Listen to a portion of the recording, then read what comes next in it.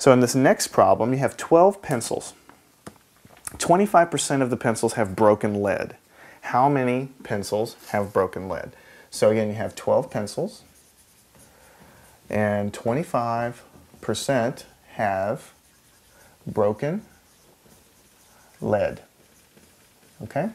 How many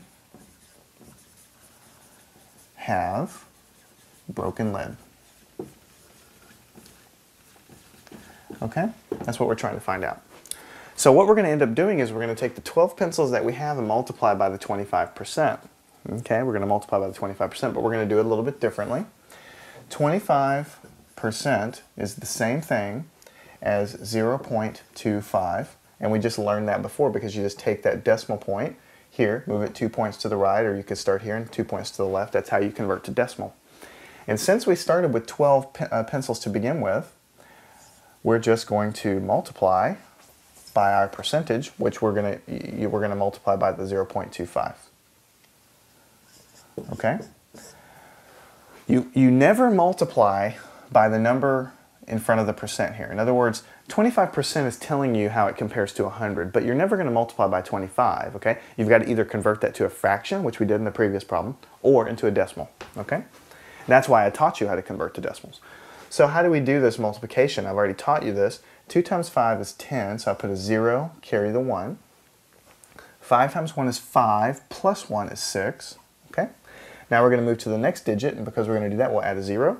2 times 2 is 4, and 2 times 1 is 2.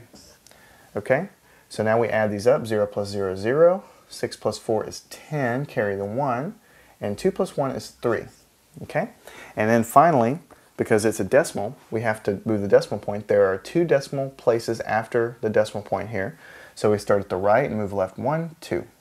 And if any of this is unfamiliar, then go ahead and go back to the section on multiplying decimals. We have two digits after the decimal, so move the digit over here. So what we have is 3.00, which is the same thing as three pencils that have broken lead, okay?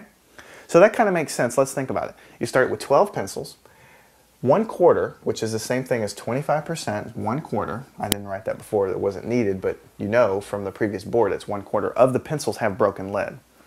So it kind of makes sense that three of them would have broken lead um, because, you know, it kind of just, I, I'm getting you to do a little bit of a sanity check here to make sure that it works. Okay, six is 12 divided by two. So we know that a quarter is less than that, and so three is right at one quarter. So what you do is you just take the number that you start with and multiply by your percentage, but you got to convert that percentage in order to do it. Okay?